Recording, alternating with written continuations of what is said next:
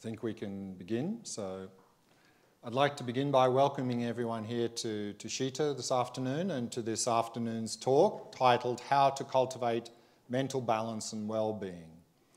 So I'm planning to speak for about an hour or maybe a little bit more and then have plenty of time for question and answer at the end of the session.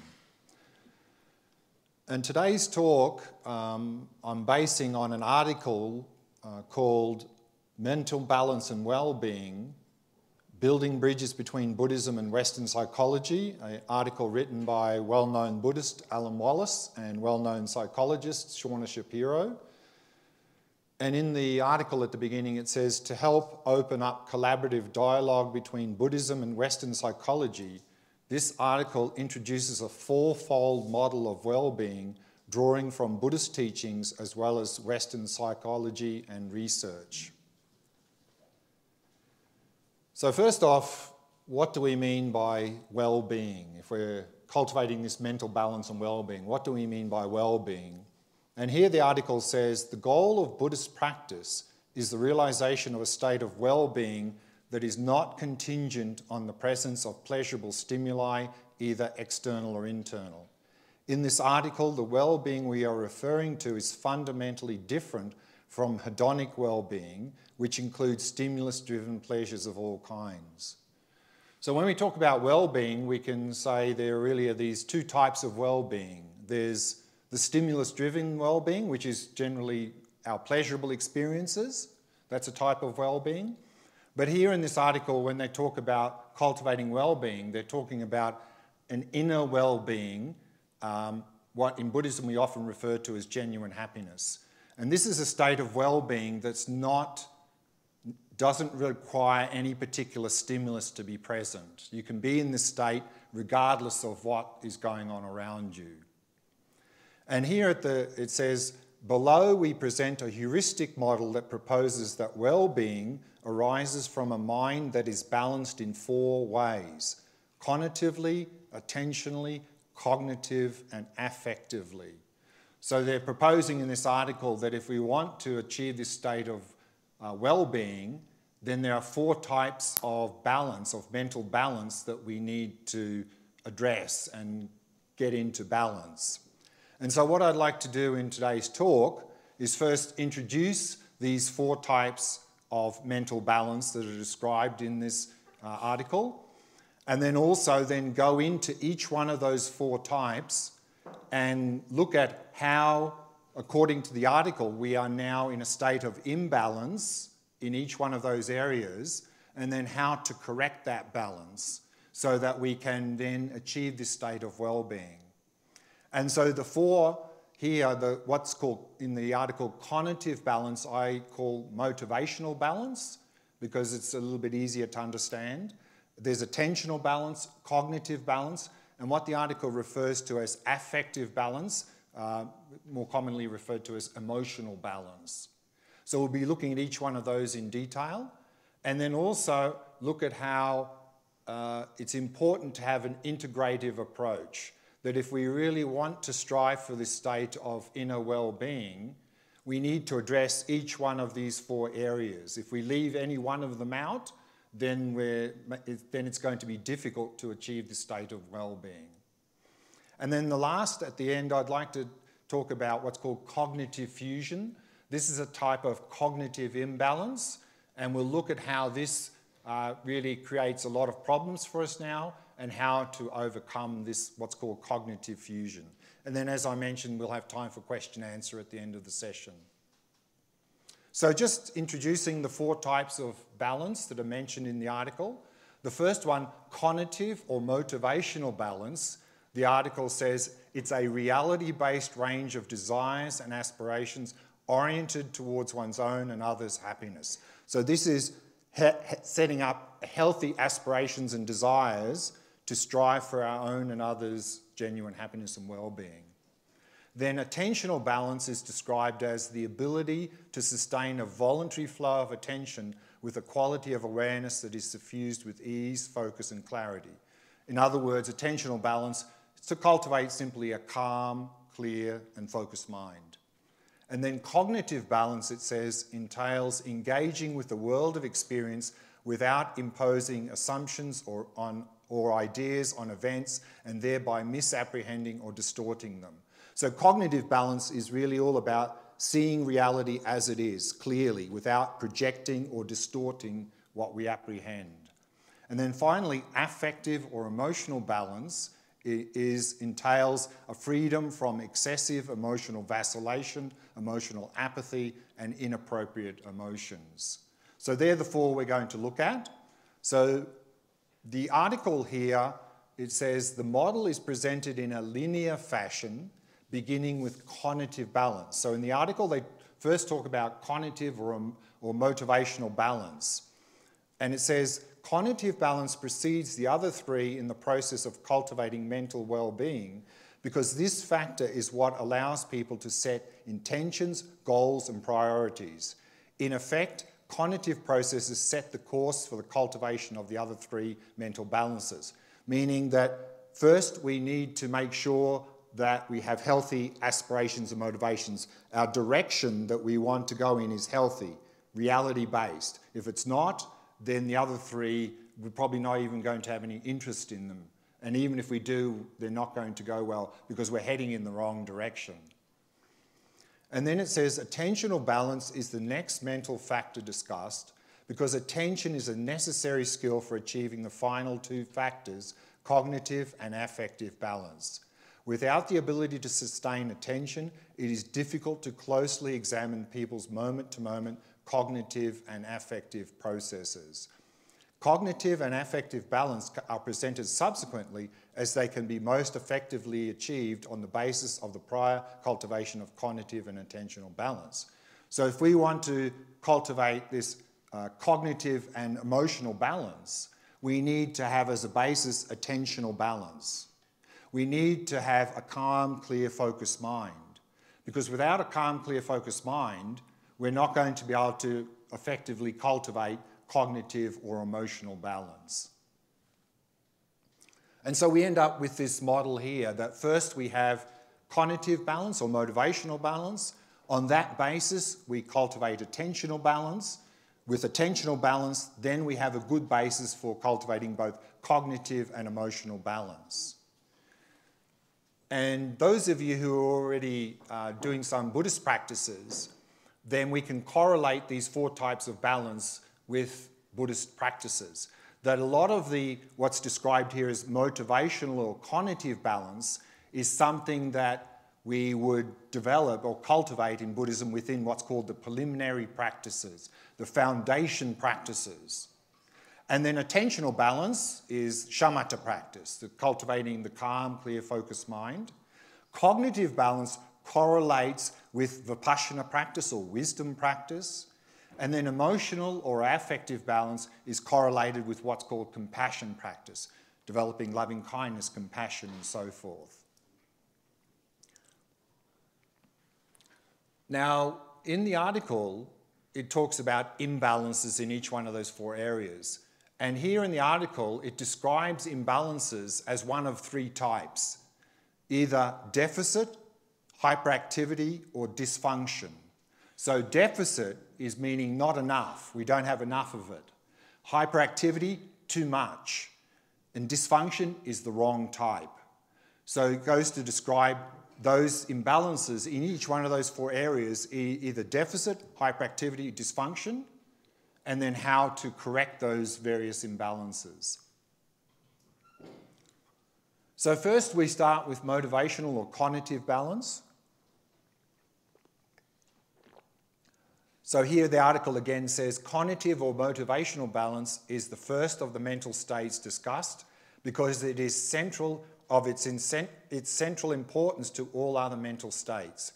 If one does not develop conative balance, i.e. a reality-based range of desires and aspirations oriented towards one's own and others' happiness, there will be little or no incentive to try to balance one's attentional, cognitive and affective faculties. So, really, we need to get this right first. We need to have reality based aspirations and desires for our own and others' happiness. If we don't have that, then our, our aspirations and desires for happiness are not reality based, then probably we're not going to be interested in doing any of these others because we'd be just chasing after all these sense pleasures out there that seem to be giving us happiness. So let's have a look at how, in motivational balance, the three types of imbalance as described in the article. So, deficit, not enough, it says a conative deficit occurs when people experience an apathetic loss of motivation for happiness and its causes. And this often happens, and probably we've experienced this from time to time, all of us, is that either we think that there's not, there's not possible to achieve this state of genuine happiness, and so we have no desire because we think that's impossible, or even if it's possible, I don't have the ability to achieve that state. And so we have a loss of desire for happiness because we, we think we can't really get there, we can't achieve it, we don't have the ability. Hyperactivity, it says, conative hyperactivity is present when people fixate on obsessive goals that obscure the reality of the present. People are so caught up in craving and fantasies about the future, about their unfulfilled desires, that their senses are dulled as to what is happening here and now. And I think we're all guilty of this from time to time, is we're living in the future. We have this obsessive focus on the future craving all of these things that we want in the future, and we're missing out on the present moment, which is the only time when things actually happen. So we, that's obscured to us. And then dysfunction, it says, finally, conative dysfunction sets in when people desire things that are detrimental to their own and others' well being and are indifferent to things that do contribute to their own and others' well being. And this is uh, very nicely described uh, by great Indian Buddhist master Shantideva from the 8th century. And he says, and we can, I think, all relate to this very well those desiring to escape from suffering hasten right toward their own misery. That we want to get out of suffering, but it seems like what we do, we just get more and more suffering. And then he says, and with the very desire for happiness, out of delusion, they destroy their own well being as if it were the enemy. So even though we're desiring happiness, we don't know what it is, we don't know how to achieve it, and we often do things that not only don't get us towards happiness, it just creates more and more suffering for ourselves and the people around us. So they're the three types of imbalance here. How do we overcome those? The deficit hyperactivity dysfunction.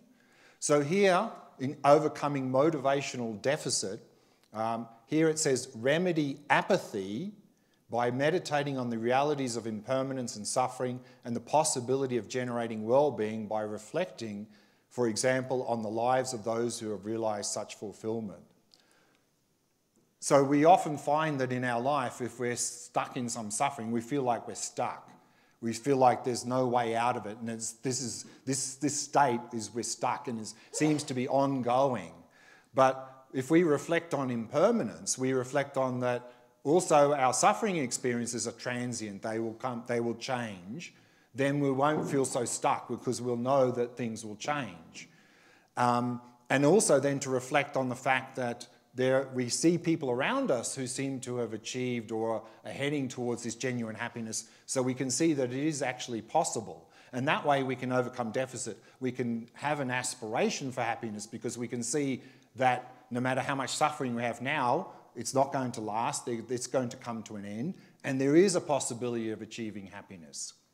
And then hyperactivity, it says, remedy obsessive desire with the cultivation of contentment by reflecting on the transitory, unsatisfactory nature of hedonic pleasures. So again, we're hyperactivity, we're caught up in these obsessive desires and fantasies about all these sensory pleasures. So, again, the remedy here reflecting on impermanence, that these sensory pleasures are transient by nature. They will never last. They're never going to fulfill us, and thereby release that craving and desire, and, develop, and then we can develop some contentment rather than chasing after all these sensory pleasures. So, for both suffering and happiness, by reflecting on impermanence, it can be very helpful that they're both transitory.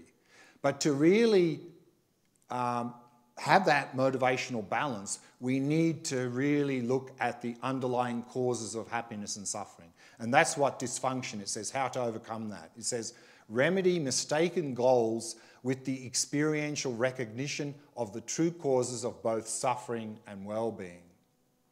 Now, many of us in the modern world are looking out there for the source of our happiness and also blaming things out there for the source of our suffering. So, as long as we have that perspective, then we're not going to have motivational balance. And we're just going to, as Shantideva says, we're just going to induce more and more suffering on ourselves and others. So we need to reflect on what is the real true cause of suffering and happiness. And so here we can talk about two perspectives. Now, many of us in the modern world have this perspective the source of my suffering, the source of my happiness is out there in the world, i.e., what happens to us. Bad things happen to us, we suffer. Good things happen to us, we have happiness. And so, therefore, for us, for those of us who have that view, pleasure equals happiness and pain equals suffering. And then, when we ever face, when we're faced with difficult situations in our life, then we see them as problems, as suffering, and then we have aversion, and that just magnifies our suffering. So, this perspective is all about what we can get from the world Let's get more of those pleasurable experiences and let's avoid those unpleasurable experiences out there in the world. If we can really do that, then we'll really be happy and be free of suffering. But I think we know from our own experience, no matter how hard we try to do that, we still seem to encounter suffering, suffering, and we're still chasing after that elusive happiness. So maybe the answer is not out there. And so this article is saying that we need to reflect on what is the true cause of suffering, true cause of happiness. And certainly from a Buddhist perspective, it's not anywhere out there to be found. It lies within our own mind. So whether or not we have happiness or suffering is not so much about what happens to us, but how we respond to what happens to us. So therefore, pleasure does not equal happiness, pain does not equal suffering. It's our, attached, our, it's our attachment to pleasure and our aversion to pain that leads to suffering.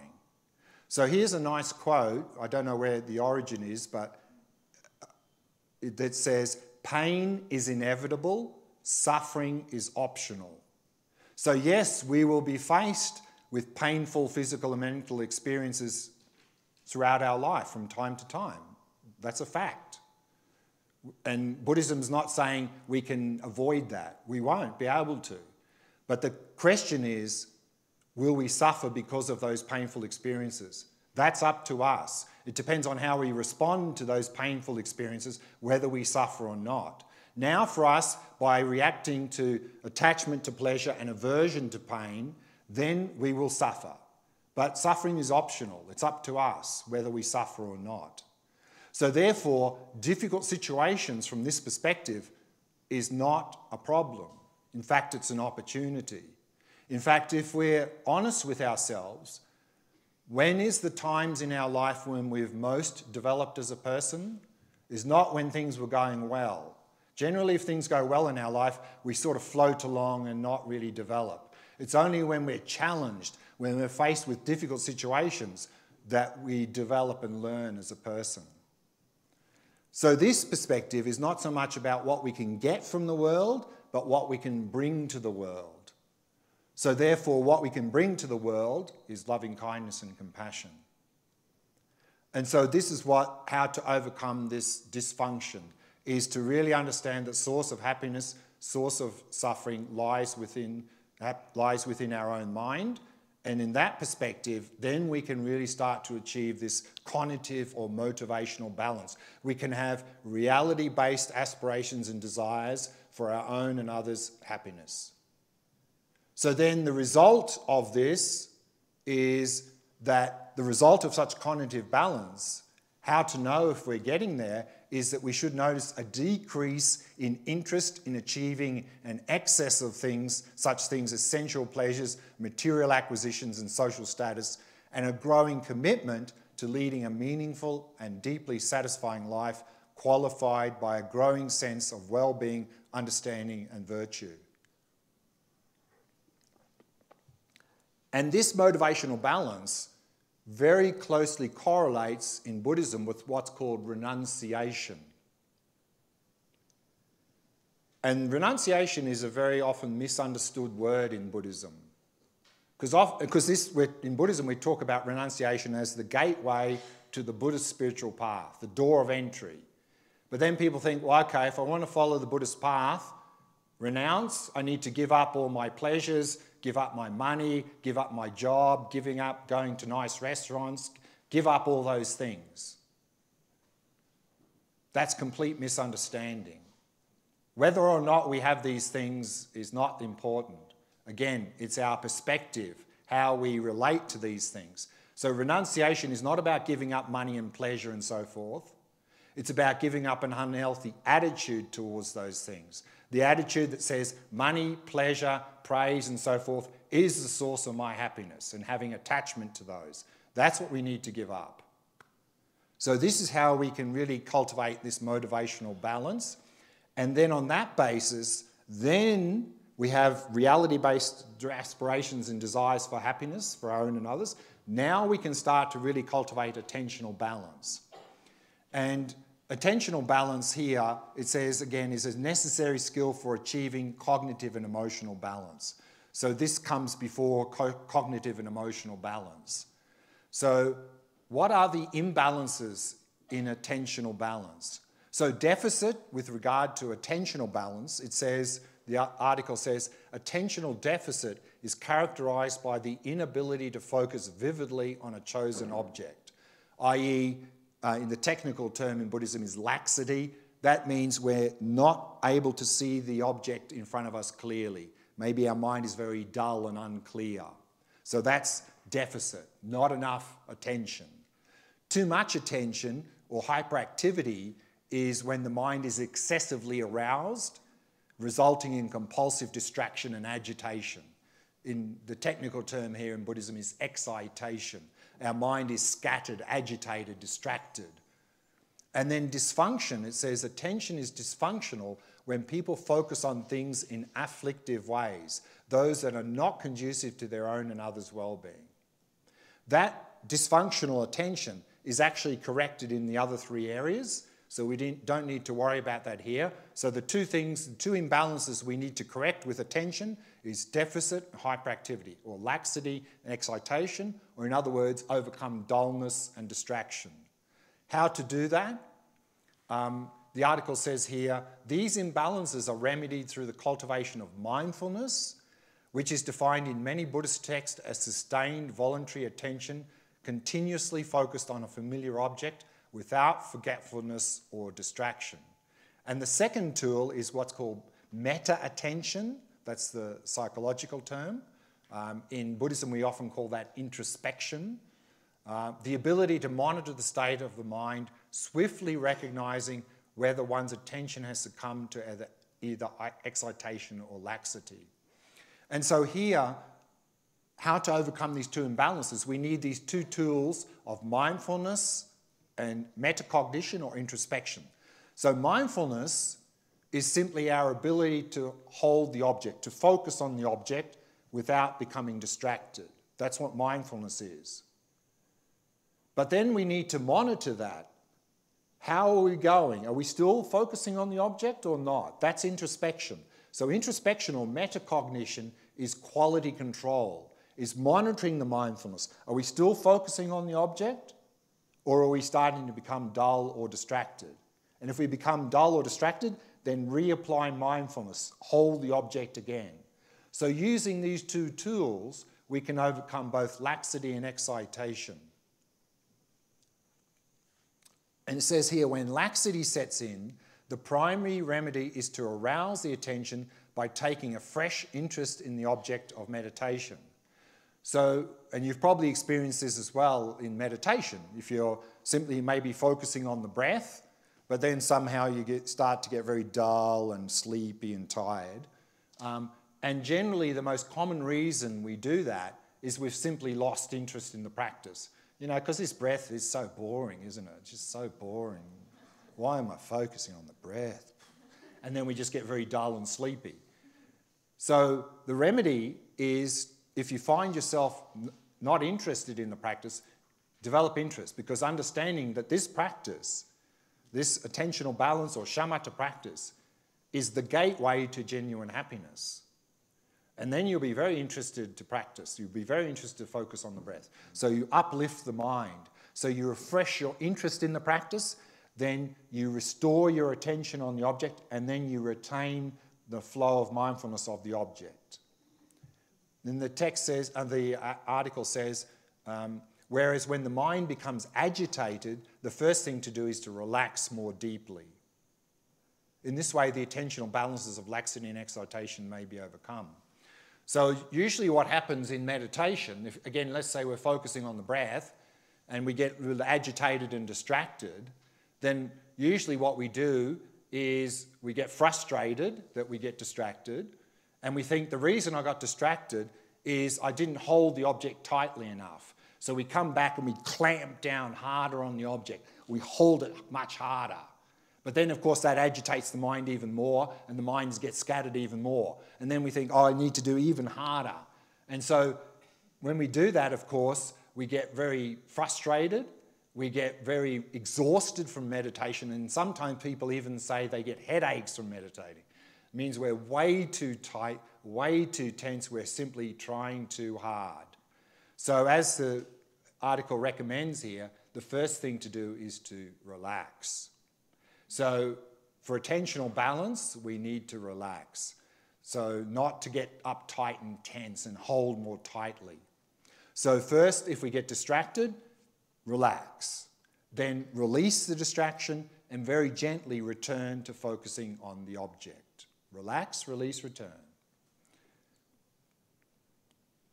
But then the question is well, what object should we focus on? Because we're developing attentional balance. So we're focusing on an object.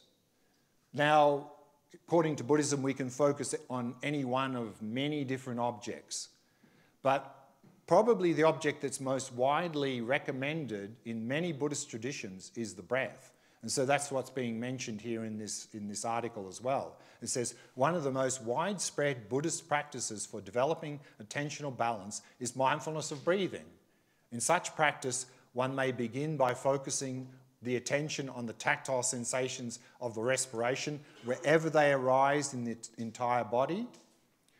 Um, one may then more narrowly focus on the sensations of the rise and fall of the abdomen of each in and out breath. So many Buddhist traditions focus there. And then it says, in the most highly focused exercise, the attention may be directed to the sensations of the passage of the breath at the apertures of the nostrils, so focusing at the nostrils. But for many of us, if we start the breath practice and we've not done it before, I wouldn't recommend starting here because we have a habit in the modern world whenever we focus on anything, object or task, we apply tension because otherwise we feel like we're going to be distracted. And we know from our own experience, if we focus on an object or task with tension for a longer period of time, we become completely exhausted. So that's not the approach we want to do here. In fact, usually in our modern world, we're in one of two extremes. Either we're focused and tense, or we're relaxed and dull. So what we want to do here is combine those two, is to be relaxed and alert at the same time. That's something we're not familiar with. So generally when we try to do this practice, we get alert, but we're tense. And then when we relax, we get dull. So we need to sort of balance that to, to be able to be very relaxed and at the same time alert. And so that's what's being mentioned here in the article. It says, in Buddhist attentional practice, one first emphasizes the cultivation of mental and physical relaxation. On that basis, attentional stability is highlighted. Stability means to be able to focus without becoming distracted. And then finally, one focus on the development of attentional vividness, meaning to focus on the object in a very clear way, so overcoming dullness. So what's saying here is that if we really want to develop this attentional balance, the first thing we need to do is to relax. If we don't have a relaxed body and mind, there is no way we're going to develop attentional stability and clarity. We're not going to be able to develop attentional balance because we're just going to get tight and agitated and frustrated and, and, and think we can't do it. So, first relaxation, then we can work on overcoming distraction, developing stability, then finally clarity. And so, if we do that training, and then it says the result of such training is a state of attentional balance in which a high level of attentional arousal is maintained while remaining deeply relaxed and composed. So, again, we want to be very relaxed and alert at the same time, not alert and tense as we normally are in daily life. For this reason, it is called meditative quiescence, or the Sanskrit term is shamatha. The mind is now free of both attentional laxity and excitation, and it can be used effectively for any, uh, any task to which it is put. So now, with attentional stability, with, with that attentional balance, now we can effectively cultivate both cognitive and emotional balance. So let's have a look at what in, is involved in, in emotional and cognitive balance. So, first, cognitive balance. So, cognitive balance, it says, entails engaging with the world of experience without imposing conceptual assumptions or ideas on events and thereby misapprehending or distorting them. It therefore involves being calmly and clearly present with experience as it arises moment by moment.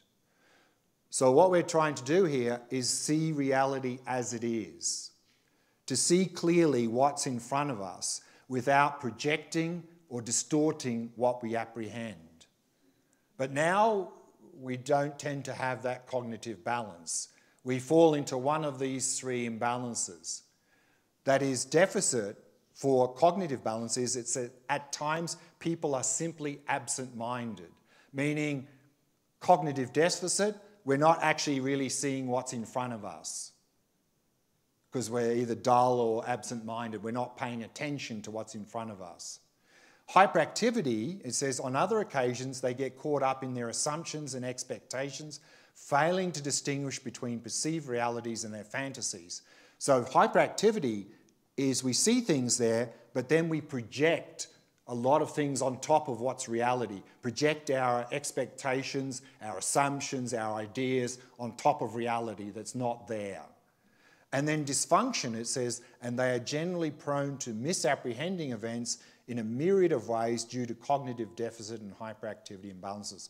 So, due to those two, then we misapprehend things in many different ways.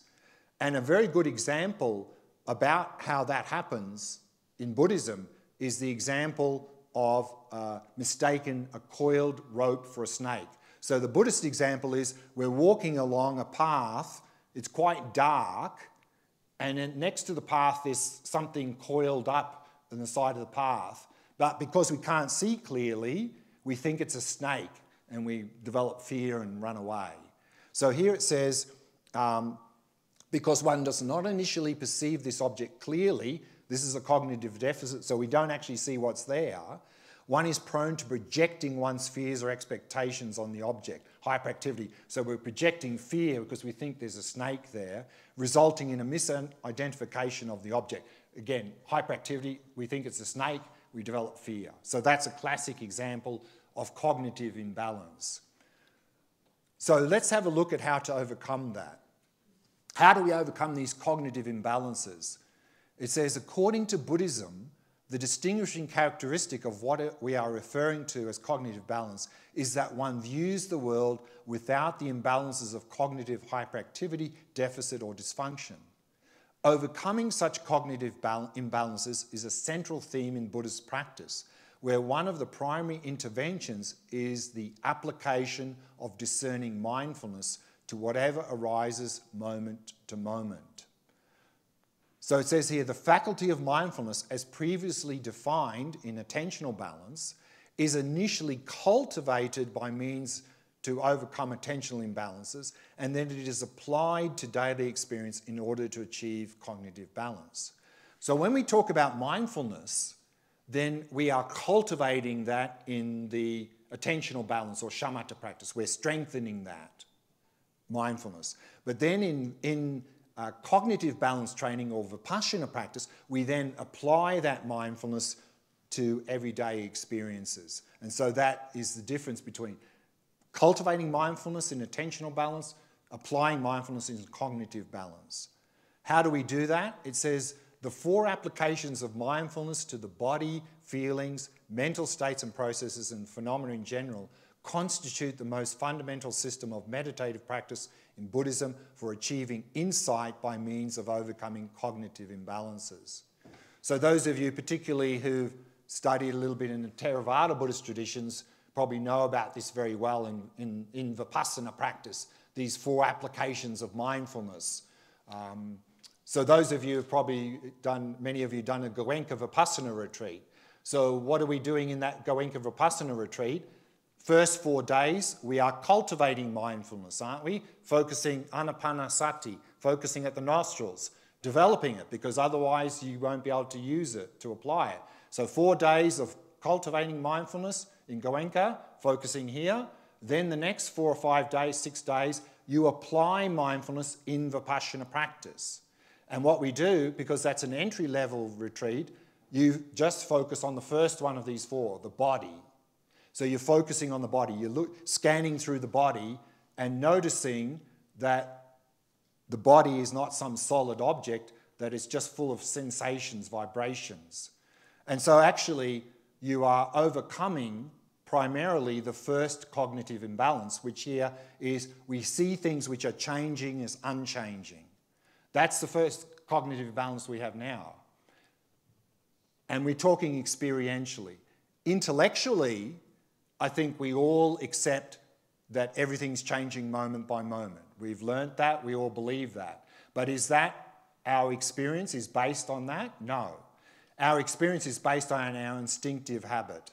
And instinctively, when we see things around us, instinctively, they don't seem like they're changing moment by moment. They seem like pretty solid. You know, this cup is the same cup that was here yesterday, it'll be the same cup here tomorrow. You know, my body's not really changing very much and that's how we relate to our body and cups and things, that's cognitive imbalance.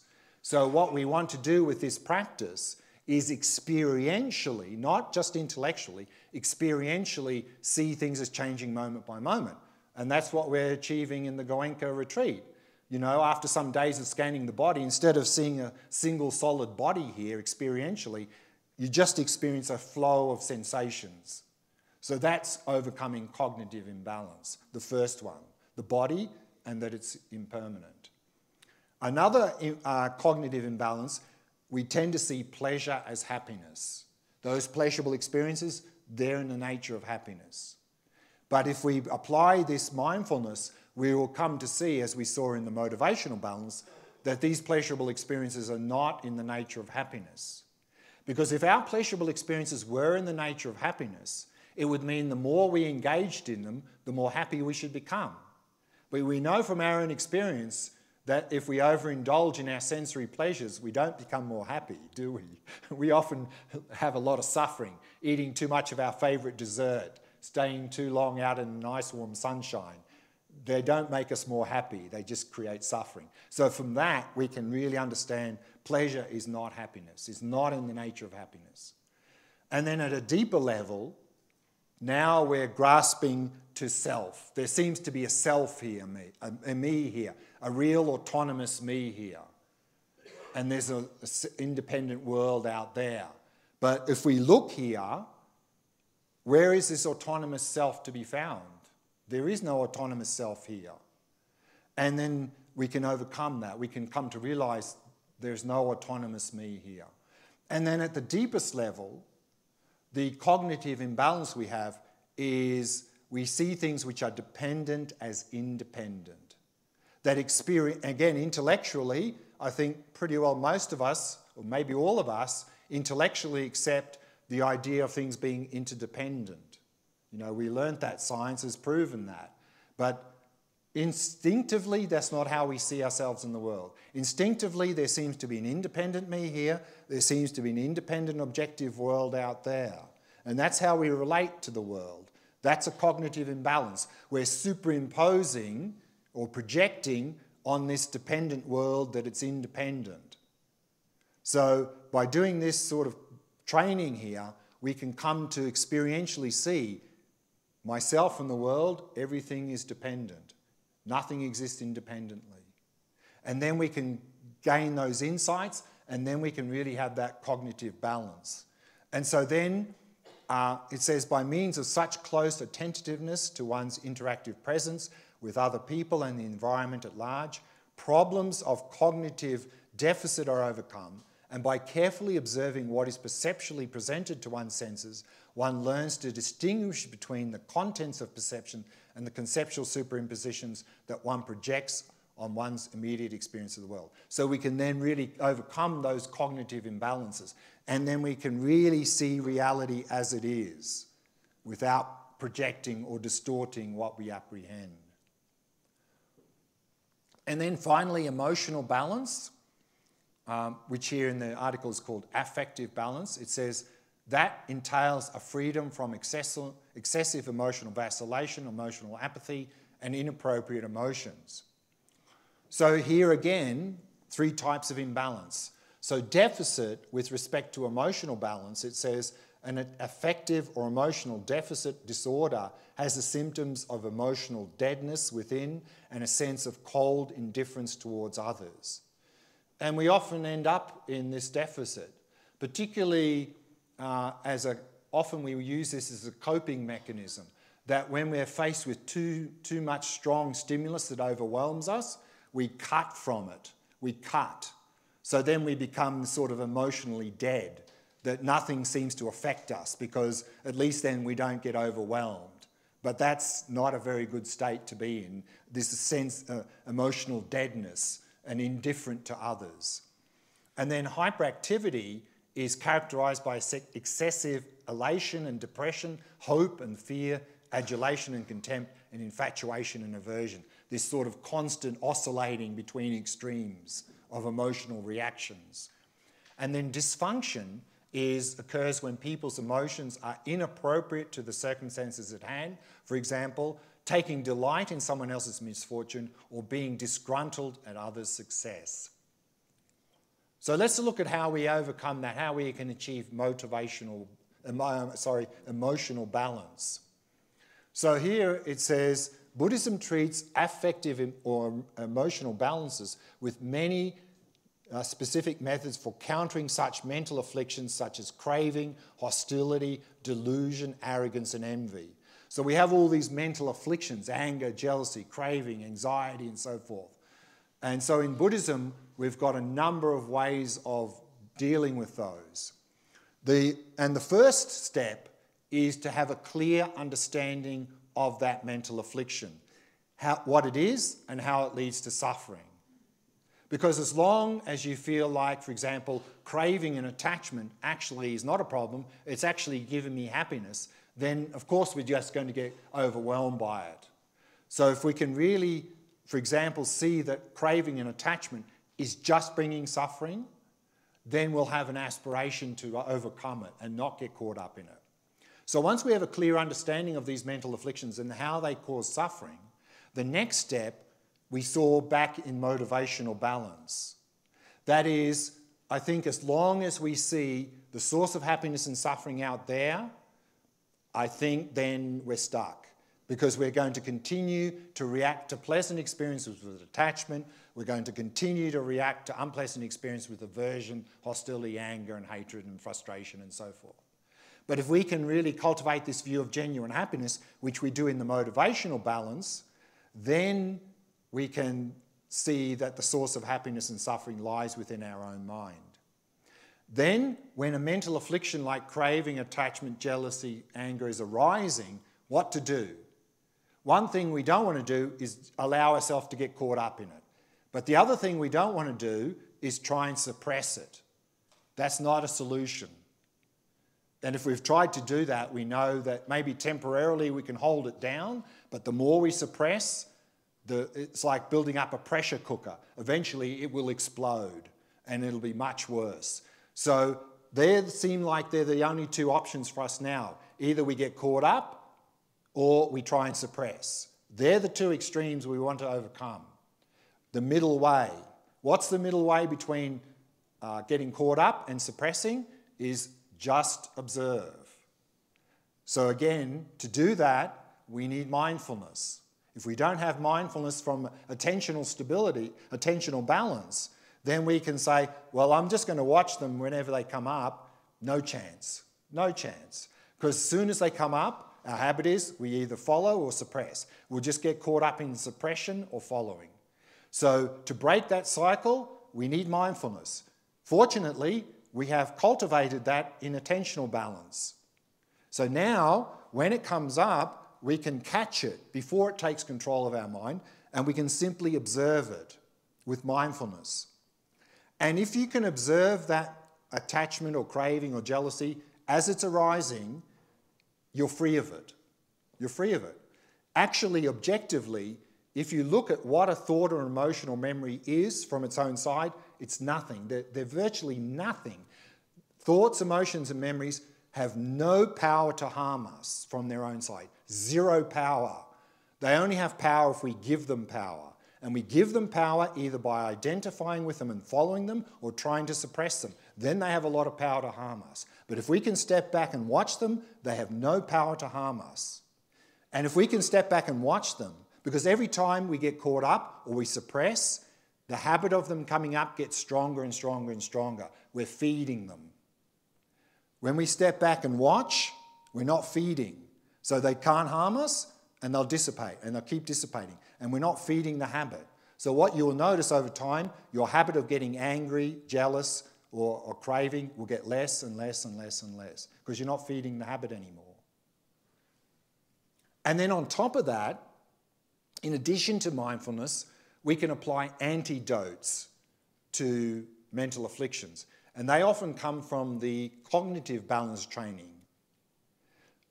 As we saw, impermanence. You know, if some mental affliction is arising, anger, we can look at it and go, well, this is changing moment by moment. It'll dissipate. And we can also, at a deeper level, apply the idea of dependent arising. So if we apply antidotes, that can also weaken them. So this is a very effective way at dealing with our mental afflictions like craving, attachment, jealousy, and so forth.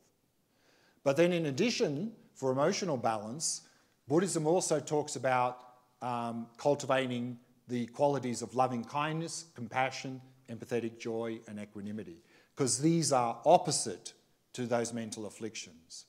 So, if we cultivate these four qualities of loving kindness, compassion, empathetic joy, and equanimity, then instead of reacting with attachment and aversion and anger and so forth, we will be able to respond with loving kindness and compassion because we've cultivated those. They will become our habit, the habit of responding with loving kindness ra- rather than, or responding with compassion rather than reacting with anger. But we need to cultivate them.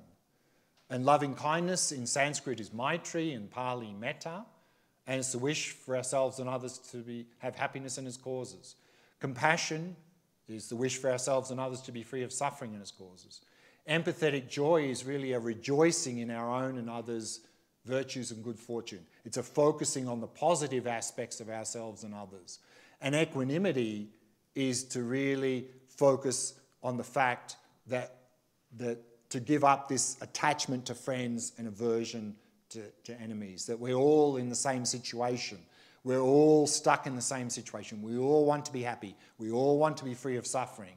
And then develop this sense of closeness to everyone instead of having simply attachment to friends and, and, and aversion or anger and hatred to enemies and apathy to strangers. And so then by, by um, engaging in these sorts of practices, it says emotional balance is achieved when one has awareness of one's own and others' emotions, emotional triggers, emotional behaviors as they arise, and making wise choices while engaging with emotional experience. So, emotional balance is not about withdrawing. Emotional balance is being about fully present in our experiences and not reacting with attachment and aversion, rather responding with loving kindness and compassion making wise choices. So we see here for emotional balance, we also need this wisdom, we need the cognitive aspect as well. And so that completes the four um, types of mental balance. two more uh, topics here briefly, and then we'll have some Q&A. In the article also talks about the importance of an integrated approach. You know, in the article, it started by saying first motivational balance, then attentional balance, then cognitive and emotional balance. But here the article says although we present the model in a linear procession, we are not suggesting any kind of strict linearity among these four elements of mental balance.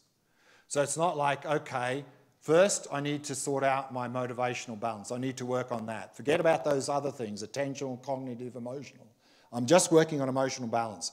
Get that sorted, then I'll move on to attentional. If that's attitude, we're not going anywhere because we need an integrated approach. Yes, we need to maybe emphasize them in this order, but each one of these areas of balance, if we cultivate it, has a positive effect on the other three.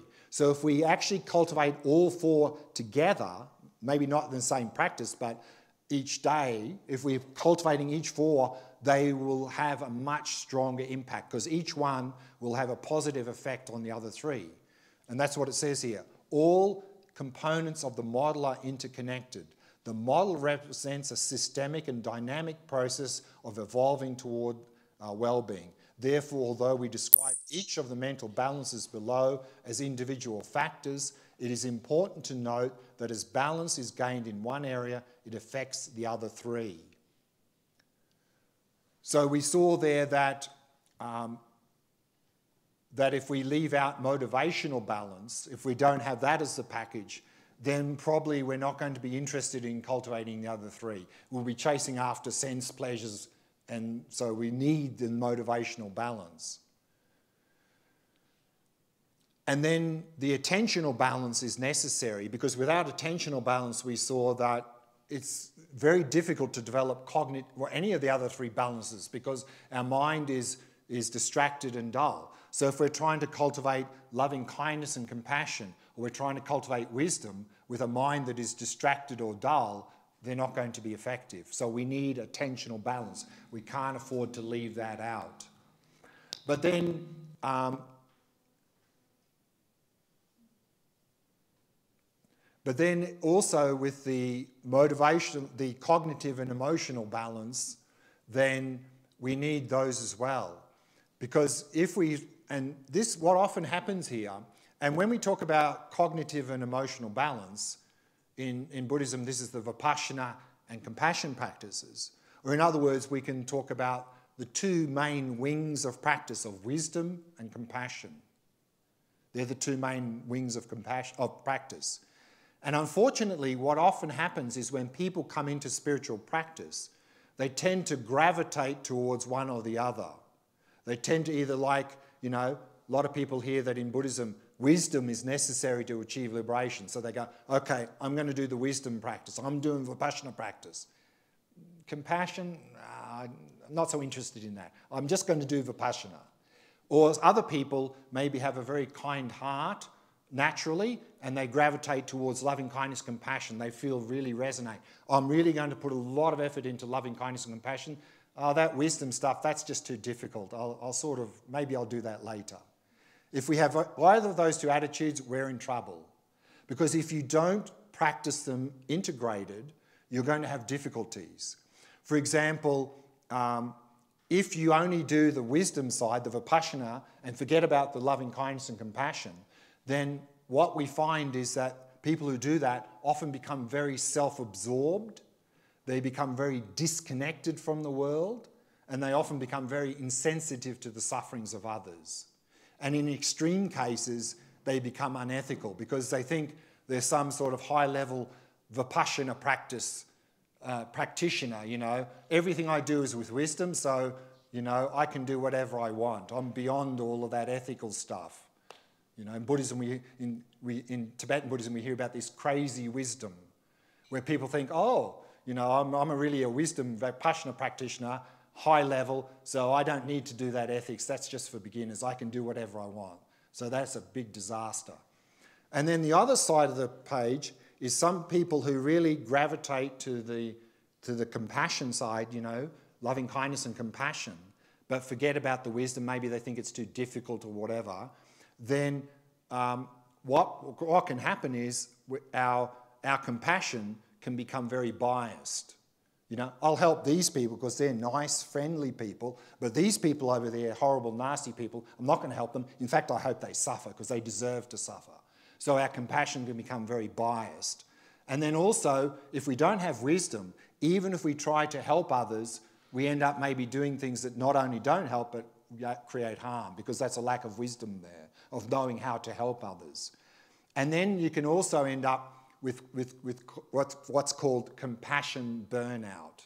You know, we see this in um, aid workers, social workers, full of enthusiasm, full of compassion. They want to go out in the world, make a difference, and then often within three to six months, compassion burnout. Technically, there is no such thing actually as compassion burnout. Because compassion is the wish for ourselves and others to be free of suffering and its causes. You can't burn out with that. So, what, what's commonly called compassion burnout technically is actually empathy burnout, is empathic distress. You have this empathy, you have this connection with suffering, but you don't see how to, to alleviate it, i.e., lack of wisdom. That's what burns us out. But unfortunately, what happens is often people go into these situations full of compassion, they get burned out, they think, oh, this compassion doesn't work, I'm suffering. I give up on compassion. Tra that's tragedy. Compassion always works. What's not working there is lack of wisdom. You need to add wisdom the wisdom of knowing when to rest and look after ourselves, and the wisdom of, of knowing how to help and what we can do to help and what we can't do to help. So we just need to add wisdom to avoid that burnout. And then the last case, I think we've all experienced many of times in our life. We try to help others, and then they take advantage of us. And they keep taking advantage of us, and we suffer. And again, we think, this compassion doesn't work because I'm just suffering, and we give up. Again, compassion always works. What's not working there is a lack of wisdom. Because if you allow someone to take advantage of you, that's not compassion. Because in some ways, you're encouraging them to behave badly. That's the opposite of compassion. So, what we need to do is add wisdom. And that is, if you try to help someone and they're trying to take advantage of you, then you are very firm with that. You say, I will not tolerate that behavior. That is completely unacceptable without getting angry and attacking them. And how to do that, we'll be looking at next. So, then the last topic I'd like to talk about is an example of cognitive imbalance that I think is very prevalent for all of us and what it is and how to overcome it. And the technical term in psychology is called cognitive fusion, and I'll explain what that means shortly. But it, within that topic, I'd like to address a few questions. Is first is why do we get angry with others who behave badly, particularly they, if they're behaving badly toward us? Why do we get angry? And why is it so difficult for us to have compassion for them? So, in other words, how can we, in that situation, instead of getting angry, have compassion? And then the second thing I'd like to look at is where does low self esteem and self hatred come from? Because it seems to be very epidemic in our modern world. And then how to overcome that low self esteem. So let's have a look at the first one. Why do we get angry with others who behave badly? Sorry.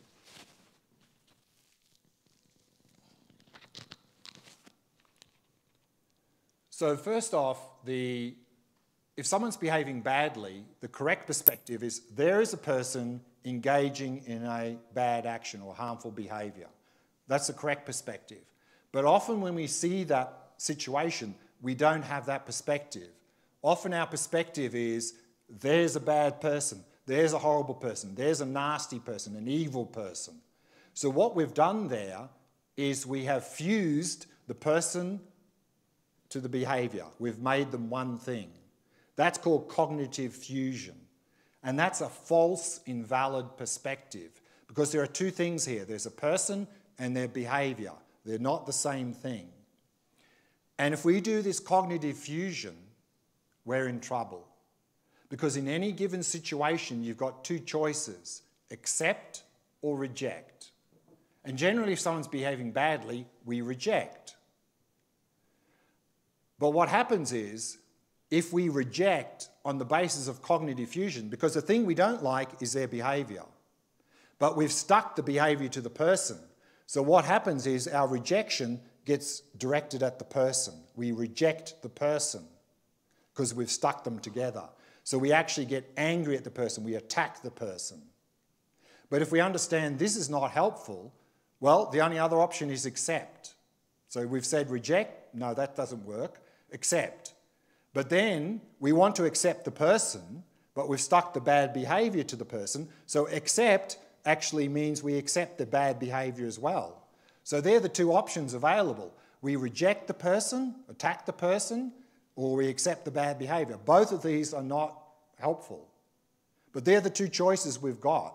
And so we're sort of stuck in, those, in that situation.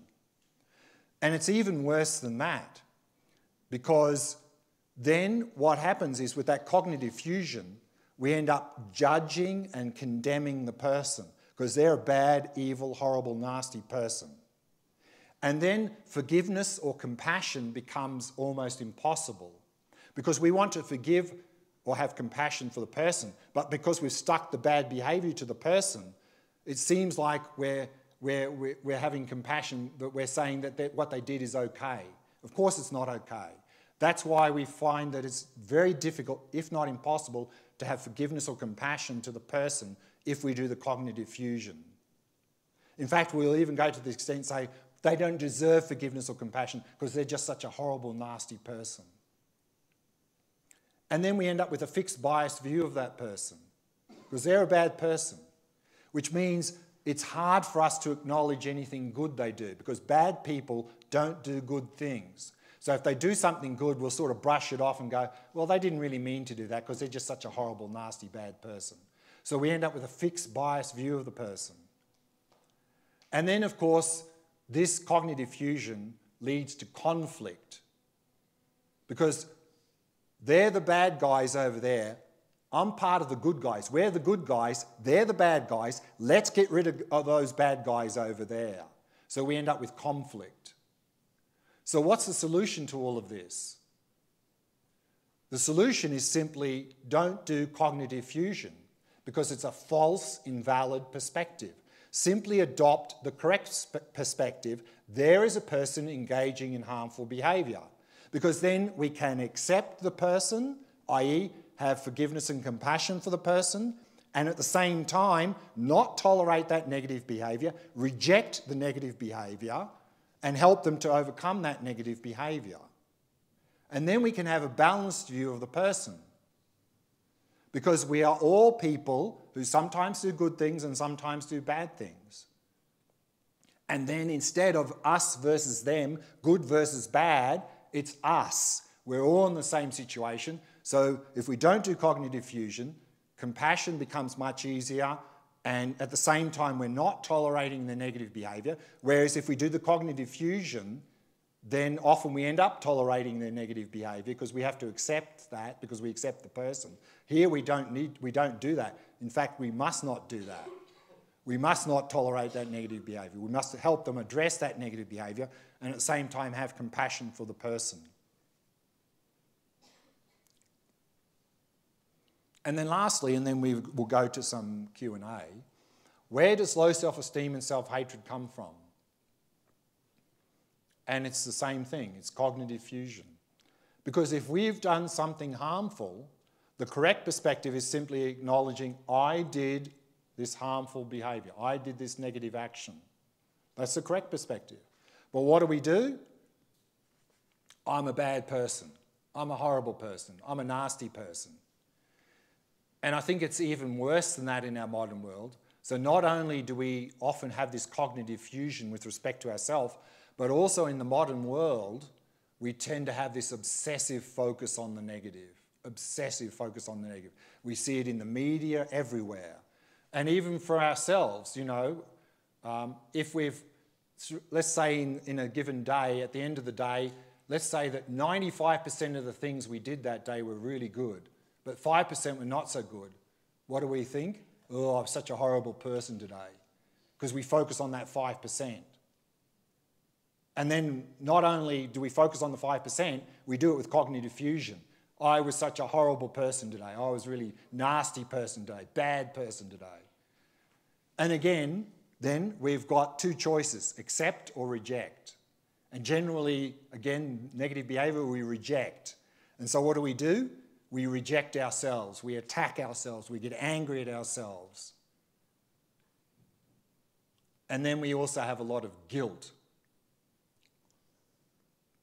In fact, guilt, if, we, if we've done something harmful and we feel guilty, what are we focusing on? Bad me, bad me.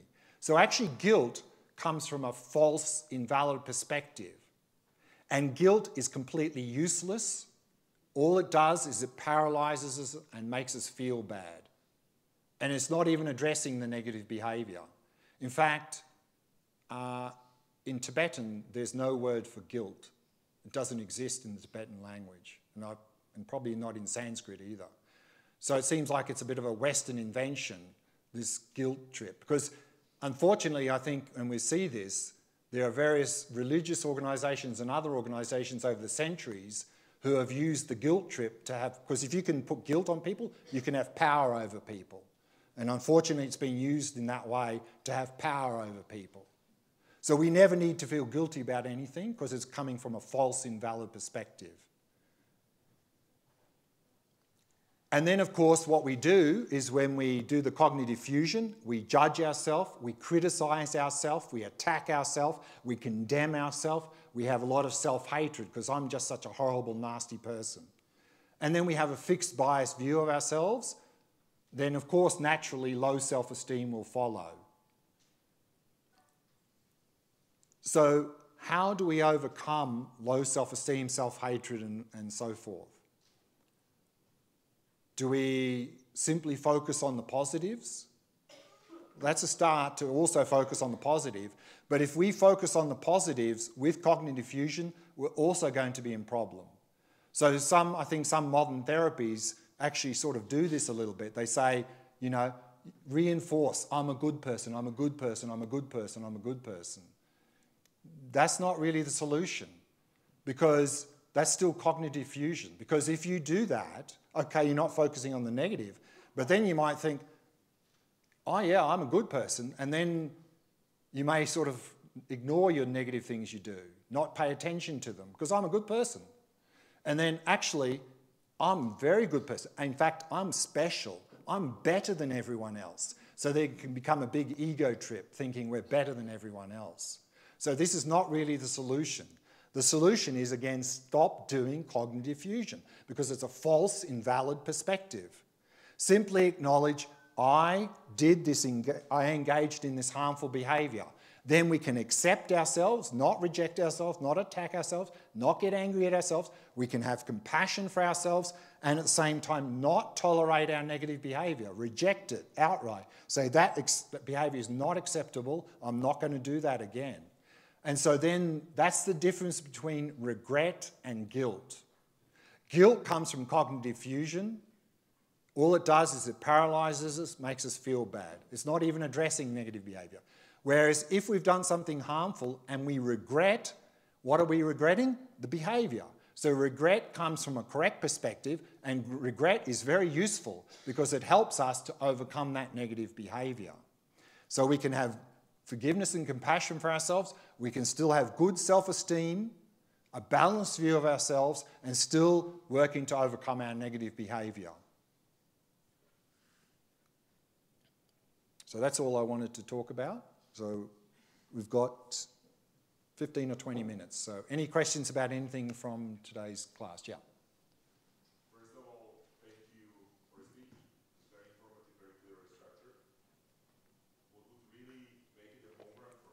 Would make? Make it a home run. Home run. Mind blowing for me would be if there was some ideally quantitative study that supports that going through these four regions is actually delivering on the promise of more sustainable happiness. Hmm. Is there? Um, I don't know, but there is now, based on this four, state, four model, there's a six model being developed, and I think they're going to do some studies on that. I, I believe so. Yeah, I was curious about the preliminaries and what they look like. Right. This Right. is my first question. And the second question is, so is the belief here that meditation alone as a practice can resolve those imbalances? Okay. Um, the first question is I mentioned that the motivational balance in Buddhism, that's more largely covered in what's called the preliminary practices. Um, and so, certainly within um, Tibetan Buddhism, but I think in other Buddhist traditions as well, they would include things like reflecting on the precious human life, that you've got a life full of opportunity, reflecting on death, saying that you know this life, precious opportunity is not going to last forever. So let's make our life meaningful while we've got an opportunity.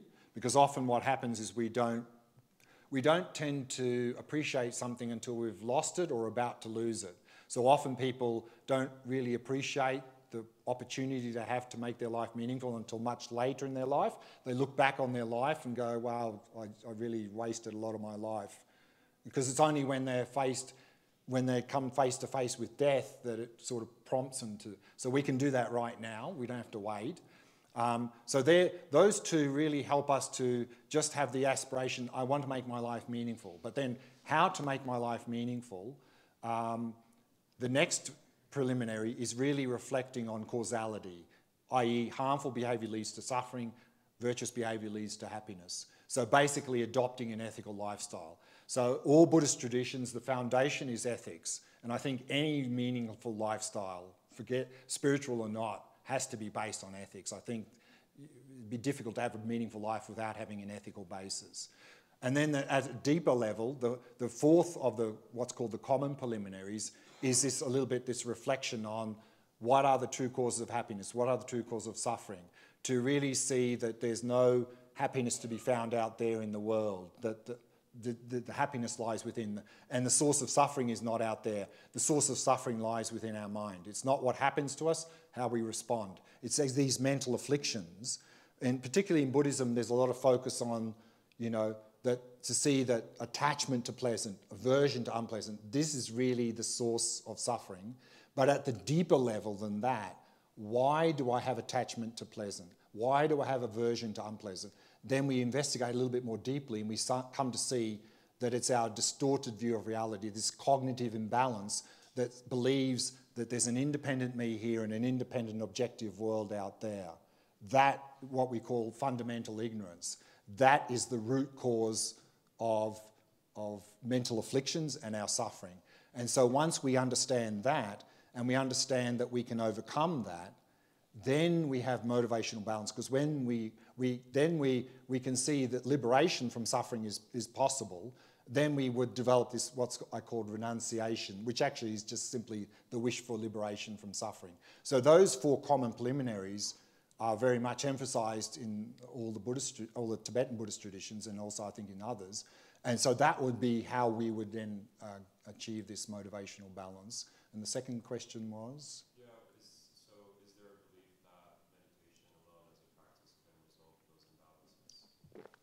So um, when we talk about practice, any practice, any practice always has two parts. You know, often, sometimes I hear Buddhist people speaking, they go, oh, when do you do your practice? And one will say, oh, I do it every morning at 6.30 for an hour. If that's our idea of practice, we're not going anywhere. Uh, practice is 24-7, at least from waking up to going to sleep, at least that. That's practice. So practice has two parts. All practices, all these areas, motivational, cognitive, attentional, all of these have, all Buddhist practices have two parts. Meditation, formal meditation, and then what you do outside of meditation. If you're not addressing that, then um, you're not going to really go anywhere. And that's what often happens is, uh, I find is some people really put a lot of time into formal meditation practice, maybe one, two, three hours a day, and they're wondering why they're not making any progress. And then you look at what they're doing for the rest of the day, it's not supporting that. They're running around, reacting. And so, you know, even if you do two hours of really good meditation, but then 14 hours of running around reacting with attachment, aversion, jealousy, I mean, it's got, you're going backwards. So you need to make sure that whatever practice you do in meditation, you need to keep working on that through the day. That's practice. Yeah. Thank you very much. Um, for attentional balance, you said uh, we need a relaxed yet alert mind. How do we need, for attentional balance, we need a relaxed and alert mind. How do we relax? And, and it's actually quite tragic that many of us in the modern world don't know how to do that because our modern lifestyle is busy, busy, busy, go, go, go. And now, particularly with, with phones and, and internet, I mean, the, stim, amount of stimulus we get every day is, is phenomenal, is absolutely phenomenal. Um, one thing that I can really recommend is uh, cut down screen time. I mean, screen time is a disaster. I mean, it's a disaster for attention, but it's also um, is a disaster for the mental afflictions. Um, I saw they did a study recently, I think it was in the UK, of teenagers, and they mapped screen time, amount of screen time, versus rates of depression, anxiety, and low self esteem. Direct correlation. More screen, more anxiety, more depression, and, and I mean, we see it. Um, so, for that reason alone, you know, we need to really, I mean, all this sort of click, click, click, like, like, you know, I mean, it's disa- absolute disaster, you know. Um, so, yeah, that we can regulate. And um, we need to really then sort of manage our life a bit to, to really cut down the stimulus, unnecessary stimulus. I mean, we're not talking about running away and hiding in a room all day. I mean, we need to function. But I think that's what we come back on this idea of the preliminaries that as long as we think the source of my happiness is out there or on the screen or something, then we're, we're, we're doomed. We're not, gonna, we're not going to shift anything. We're not going to relax because we're going to put all of our time and energy there. That's why it's preliminaries. That's the foundation. That's why motivational balance comes first. If we don't make that shift in perspective, then you won't be able to develop relaxation for attentional balance because you, your mind will be agitated, still chasing after all that stuff. That's why it came first. So if we've, if we've worked on that, then we can start to work on the attentional, we can start to relax because we've shifted our priorities in life, we're redirecting and so forth. Then we've got a chance. But what I really can recommend is many of us have had years of bombarding and our minds and our bodies are just, is just completely out of balance. Um, for that, I would highly recommend for meditating using the Shavasana posture. Shavasana posture is, is perfect for relaxation. But what we want to do with that is that uh, only use it for meditation. Because now we have a mental association. Horizontal means sleep. So if you try and meditate in the Shavasana posture, probably the first few times you do it, you'll get very drowsy very quick because you have a mental association. When the body's horizontal, that's sleep time. But if you use, uh, if you use the Shavasana posture only for meditation, you'll start to build up a mental association. And then with that, you can really relax the body and then just keep releasing in the mind. So I use that meditation posture quite a lot, and I find it very helpful for releasing the tension.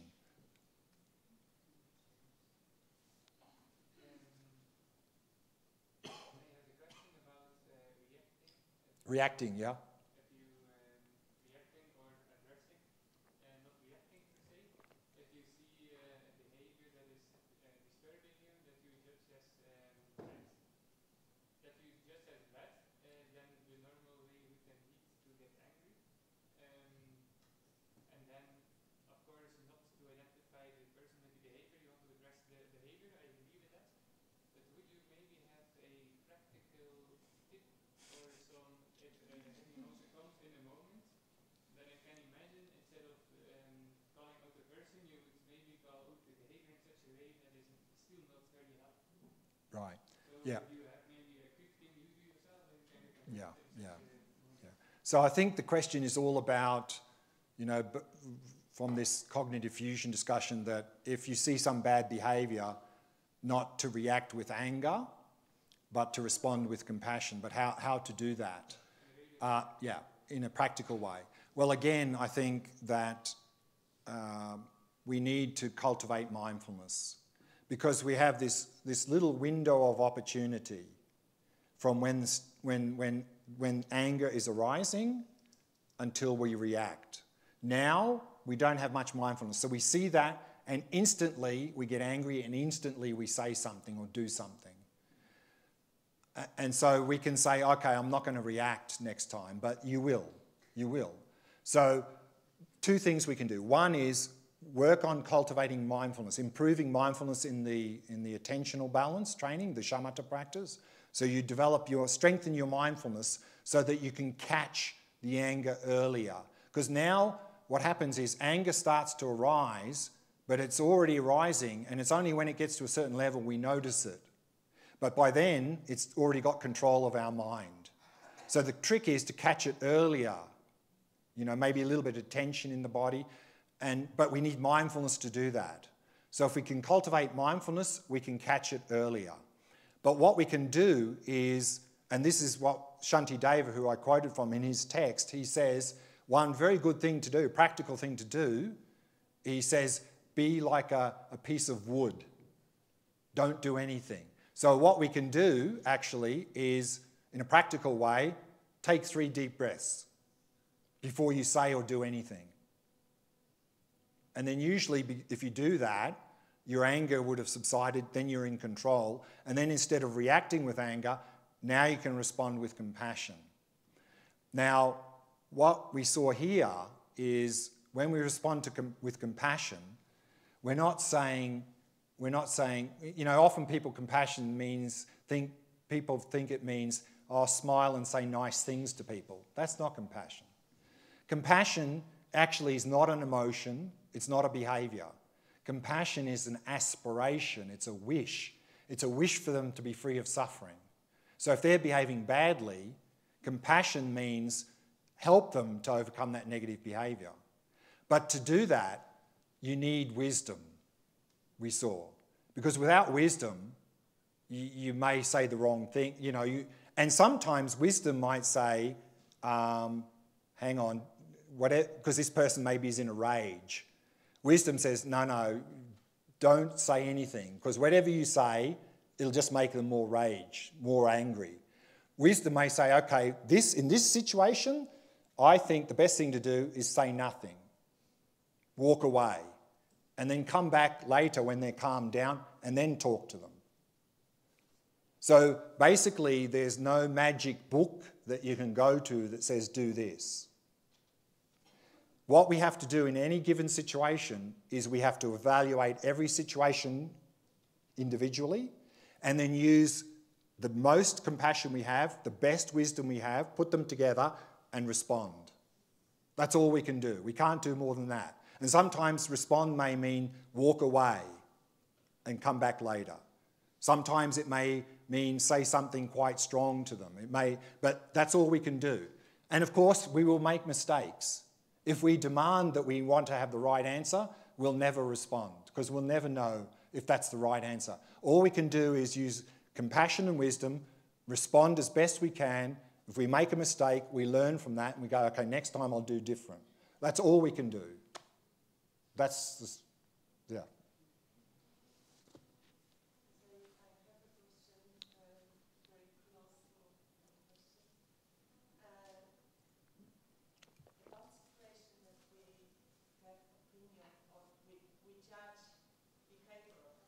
Yeah.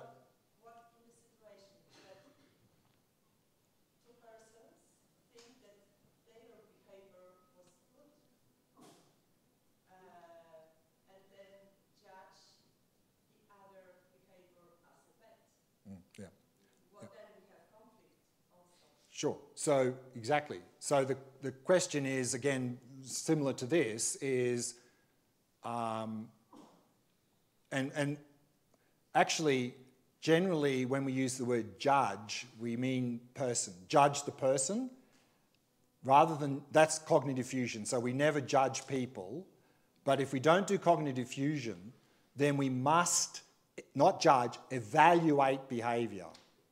So judging people, leave, forget never, but evaluate behavior. And again, all we can do is use our wisdom and compassion to evaluate that behavior. And we may believe it to be unethical. And, but then also, as part of that, we can look at where that person is coming from, their perspective, and try to see how they, they are seeing the situation as well. And then, based on that, then we can respond in a certain way. But again, there's no right or right, there's no magic answer to any situation. But again, using wisdom and compassion, but not only our own, but we need to try to see how is that person seeing the situation? What is their perspective? That we need to take into account as well. And then we respond as best we can. And then I think instead of, I mean, maybe we don't agree, but if we have that approach, then maybe we don't agree, but usually there's less chance of conflict. Because if we have that compassion, even though we maybe use some strong words, that because those words are directed at the behavior, not at the person, I think the person, if they're open, can sense that you're caring for them, but maybe they don't accept your advice. But at least they probably won't attack you because you're not attacking them. So that's the big difference. So we need to be careful on the, how we use the words. We, we, when we are talking, just simply address behavior. And you can even, you, like, like, the, like an example, the wrong thing to do is if someone's behaving badly, saying, You're a bad person. Better, you did a bad behavior. But still, even though you might say you did a bad behavior, that person's probably doing cognitive fusion. And even though you said you did a bad behavior, they're thinking, oh, they think I'm a bad person. So, better than you did a bad behavior, just say, do you realize that behavior is harmful? Leave out the agent. Just say, do you realize that, bad, that behavior is, is, is harmful for this and this reason? Then you're not even including them in that discussion. Just the, you're just talking about behavior. The more you can do that, the less likely conflict. Of course, you can never guarantee, but that's all we can do. Yeah, but again, you. That's why my question. That's uh, about one behavior, persons can, uh, can see it but again, ways.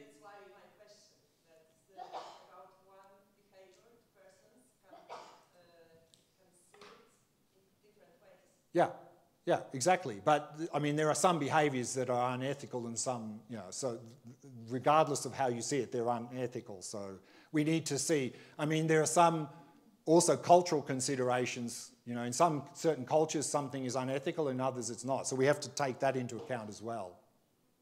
That's all we can do. Yeah. Oh, and then last question, then we fit. Yeah. Yeah, yeah. No, go. Um, yeah, my question is about emotional healing. Um, Emotional healing. Yeah. yeah. So, for instance, like from, from a Western perspective, um, if you're dealing with any kind of emotional issues, um, usually you would go back in your past or your history, um, any kinds of things that happened as a child uh, would be brought up and try to kind of like heal that in a way. And I was wondering what would be, you know, a Buddhist perspective on this. Yeah. Um, yeah, so emotional healing. I mean, yeah, I mean, in Buddhism, of course, um, a lot of our emotional suffering is simply not acknowledging, suppressing things from the past. Um, and so, with attentional training, balance, then what we're doing is we're not suppressing. So, the more we do that, the more you'll find things come up from the past and so forth. Um, and then you simply acknowledge it and not identify with it because then you'll just you know hold on to it. So again if we're not doing the cognitive fusion and we allow it to come up it's just it's just something in space there and you just acknowledge that. And so that can really start the healing process. But i think that certainly in you know when we talk about dealing with shadow issues and so forth i think the, the standard buddhist techniques don't really have specialized techniques for that so I think there, a lot of the modern psychology therapies are much better equipped to deal with those sort of things. Um, you know, often uh, the relationship between psychology and Buddhism, uh, very simplistically, uh, not that I know much about psychology, but I, I say that like um, the, the job of psychology is to make an unhealthy ego healthy. The job of Buddhism is to transcend the ego. So Buddhism doesn't, when you've got a very unhealthy state, you know, psychosis and so forth, it's very hard to use the standard Buddhist practices. So therefore, fortunately, there are a lot of stepping stones within psychology who are using also a lot more mindfulness-based techniques for working with depression, anxiety, and PTSD and so forth that can really help bring people up to that level of mental health where you can use these directly. Last question, then we need to stop. My question is in relation to uh, attentional and cognitive um, balances. How realistic uh, we can, you know, like how to define how stable already our attention needs to be to be able to do analytical meditation, so go from shamatha to vipassana. Sometimes it's uh, recommended, let's say you do 20 minutes breath atte- awareness, then you do 20 minutes um, vipassana. Yeah. And um, for me, I find it practically difficult. Maybe Yeah. my shamatha not in that level, you know. Right. So I feel a bit confused. Right, But at the same time, i- if I will wait for my perfect shamatha, I Yeah, never get there. right, you yeah, know. yeah, yeah. So what would be your So the question is basically, you know, we talked about how attentional balance training is really the basis of both cognitive and emotional. And in Buddhism, the cognitive is the vipassana, what's called vipassana practice, and the attentional is shamatha practice. So the question is really, how much of this attention or shamatha do we need as a good basis for doing the vipassana? Um, of course, more is better, but I think here what can be very helpful in the Buddhist context is if you have a teacher, a qualified teacher, they can more help fine tune that. But um, I think we can just sort of, from our own experience, we can see how is our Vipassana practice going. Am I really starting to, to penetrate, or am I sort of like a bit distracted and dull and so forth? And then we can sort of go back and do a little bit more. And I think it's not like a, a strict formula. It's not like we need to do X amount of this and then Y amount of this. I think you can, you can, because it'll vary. Some days you may find your mind is more focused and uh, very quickly. Then, with a little bit of the shamatha, you can then go in vipassana and be more effective. On other days, your mind is really quite scattered and dull. Then you may find, well, there's not much point in going into that. Let's spend more time in calming and focusing the mind. So I think we can sort of adjust that formula from day to day depending on what's going on in our mind as well. Yeah. Okay. Uh, run over time there. So thank you very much for coming this afternoon. I hope you enjoyed the talk.